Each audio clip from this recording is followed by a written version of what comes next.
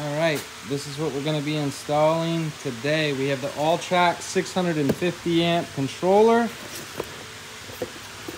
We got the AC motor kit. We're swapping the battery for a bigger BMS. And we'll get this bad boy going today. All right, you guys, first thing we gotta do, we're gonna swap this battery out. This has a 130 continuous amp BMS in it, and we need something bigger than that. So we got a upgraded battery sitting over there. It's got a 230 continuous amp discharge and a peak of 575 amps for 10 seconds. And that should be enough to run this motor kit. So stay tuned. All right guys, so here is the stock motor speed sensor. We're gonna take that cover off up there and get to the original controller right now. All right, we got the instructions, everything out. This is for the 2008 and newer club car, tempo, precedent models, all of that. So this is the one we're gonna be doing right here. Okay, first thing we're gonna do is install the USB-A, which is how you control it. Basically, uh, it's a printer cable. Um, but let's go ahead and install that first. Okay, you will feed this through there, and I'll show you when it's done. Okay, so I put the cap on first, and then I fed this through here. There's a little washer, little rubber washer that goes there. And then it can only go on one side because of the, it can only go on one way because of that flat part right there. And that's that. This is going to be installed right here. Okay, this is how it's oriented. This is down. This is how this gets installed, is right through here. And then this cable is gonna go through here, okay? Okay, so this is the side that faces your battery underneath your seat. This is what you'll plug into when you wanna set your parameters. This cap just covers that port. And then this will get plugged into the actual controller on the back side. Flip this over. Here's that right there. This will end up going right here.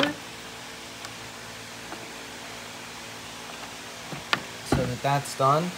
And then this has four machine screws with Allen heads on them and lock nuts. And that can only go on one way, but it goes just like that. This has been fastened and secured. We got our port mounted and that thing is all good to go.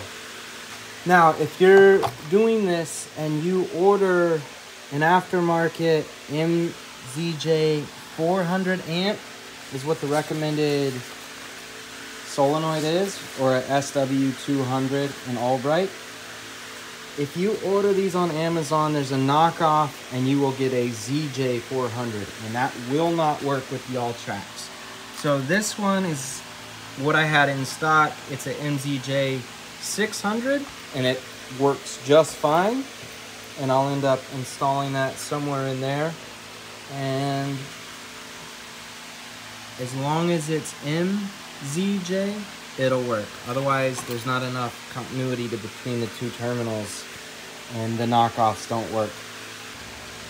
Because I'm using this bigger solenoid I will have to just drill another hole and I'll use this other stainless steel bolt to go through and then that'll be secured and I got, it's a little tight here, but it'll be just fine.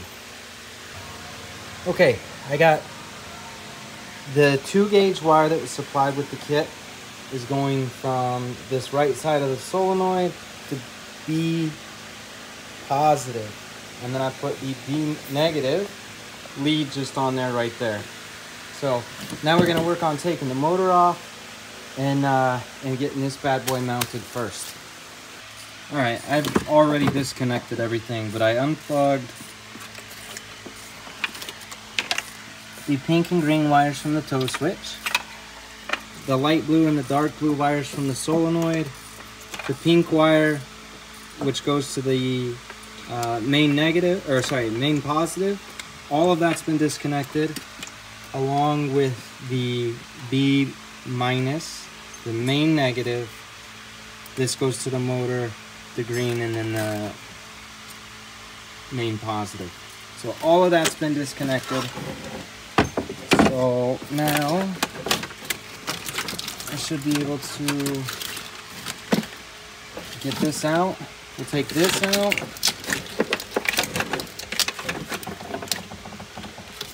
And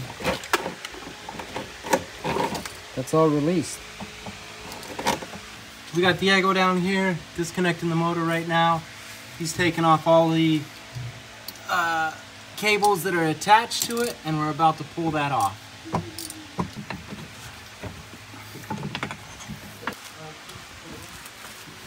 All right. Okay, so I threw some lock washers on here because it does not come with them. And we're attaching our three cables first so that when we install it, we won't have to reach in there and hook those up. And we're gonna mount this to the, it's got a 19 tooth spline. 19 or this one might be 10. I think Club Car is 10. But it's the right one. Okay, this is the provided bolts, lock washers, and washers that come with it to mount the motor. And we will be hooking up this one to right here. That's the ground. And that'll go to the controller. Lo sentamos aquí arriba. Espérate, cabrón, cabrón, cabrón. Mira, lo voy a soltar, eh. Lo voy a soltar mi mano.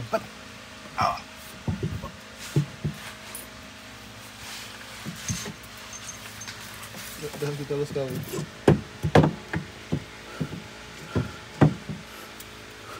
Me dices para dónde. Ya está. Boom, just like that. There we go.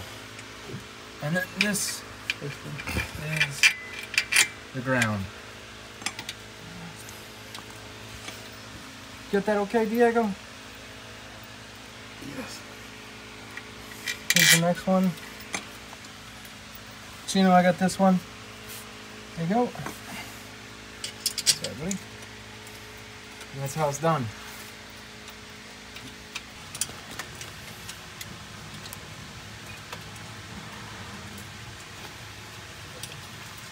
No. Okay, this is all installed and ready to go. We'll get that controller on. So up underneath here, you have to cut out a chunk of this so that the the cover fits. You can see any instructions. If it's right, right here, you got to cut that chunk out before this can be installed. On this one, you have to install the run tow switch bypass, and this gets a little bit confusing. But this will go on this side of the solenoid, and then this will get spliced in with the provided green spade connector. Will get spliced in with this green wire, just like this. So these will go on my run tow switch. And this will go to the right side of that solenoid's little terminal. Okay, so we took this, we took some two gauge cable, put on a connector. I'll have to bore that out so that it fits on the solenoid. And then this goes to this original wire right here. And then this will go to the controller. Go to the battery. Okay, so this is the lead that we made. I got a 5 16 end on this side. This will get connected to the battery, the terminal right there. And then this has the 3 8 bored out. This will go on the solenoid and that'll connect to where the existing one was. So there you go. Right, so this one will get the ring terminal connector on that one. And then the light blue one will crimp and just dead end with this. I'll show you what that looks like. Okay, so this will go on the tow switch. The other pink wire will go on the tow switch. This will go to the positive solenoid lead that we made. This will go to the right side terminal. And then the dark blue wire will go to this side. All right, we're gonna put this controller inside. We have our main negative lead. It'll go to the battery. The main positive that'll go to the battery. We're gonna connect the WVU from the motor. The R is for uh, EZGO TX or uh, RXV, so ignore this. And then we'll hook up the 16 pin connector, our ground that went to the motor, and then this is for your on the fly controls. Okay, so we have the bypass kit here that will be connected to the tow switch. This will go right here. This is the other side of the tow switch. Those are hooked up. This one is dead end. And then this one will get connected right here. And now we're good to go. Okay, so white wire that was attached to the motor ground gets plugged in there at J3. This is the on the fly control. And then I hooked up the 16 pin harness that is stock right there. And then the this is pretty self-explanatory. That's the speed sensor. So now we're ready to put everything together. All right, so we stuffed this in there. You can see it fits tight. And then we have the main positive and the main negative coming out right here. These will get hooked up to the battery. Here's the tow switch, and then we'll hook up here for the programming. Diego is feeding all the wires through the original plastic cover so that we can remount that. Alright, so now we're gonna mount the cables, the U, V, and the W cables to the controller. Okay, so we made this all nice and tidy. Everything feeds in there. And we got this to clip on and this to clip on here. So that's it from underneath. This, we ran the on-the-fly control all the way up to the front. And I'll show you what that looks like. All right, so we just put it right there. Nothing crazy. Uh, customer didn't care. So I think it looks good. It's out of the way. Um, you can reach over and uh, change the settings. So that's it. We'll connect these and uh, start programming. All right, we got our cables connected. Two gauge wire. This is actually one gauge wire for the ground. On off switch works. And we'll turn the battery on and program it from there.